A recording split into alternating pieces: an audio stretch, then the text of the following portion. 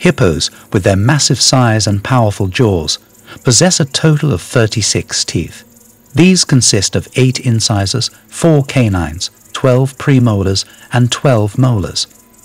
Interestingly, some hippos maintain baby teeth well into adulthood, resulting in a higher than usual tooth tally. Their teeth are uniquely designed for both eating and combat purposes. The incisors and canines naturally sharpen themselves while grazing. On the other hand, the flat and ridged molars and premolars play a crucial role in grinding and crushing plant matter. Nevertheless, continuous wear on these teeth can hinder a hippo's ability to feed properly over time, potentially leading to starvation in severe cases. One of the most fascinating features of hippos is their remarkable jaw strength.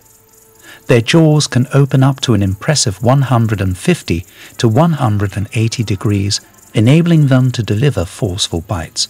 A hippo's bite force measures around 1,800 pounds per square inch, surpassing that of many other large predators significantly.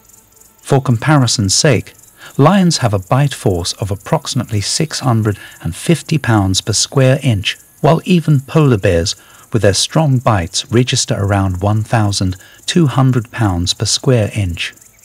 This substantial bite force, coupled with their sharp canines, makes them formidable creatures despite being mainly herbivorous. Despite primarily consuming plants like grasses, small shoots, and seeds, hippos have gained notoriety for their aggressive nature.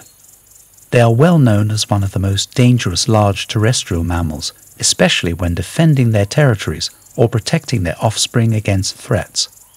A combination of a hippo's weighty presence, swift movements in water, along with its lethal jaws, make it a potent entity capable of attacking or fatally injuring humans if agitated.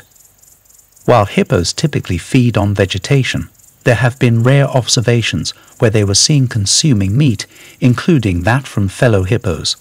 Such behavior is often linked to distress or health issues like malnutrition suggesting underlying problems within their environment causing this dietary deviation, showcasing the adaptability of these creatures under challenging circumstances.